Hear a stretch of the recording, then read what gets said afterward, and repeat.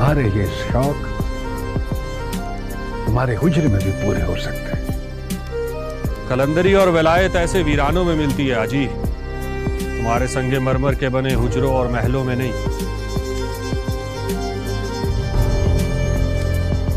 तुमको मिली? जब उसका हुक्म होगा मिल जाएगी।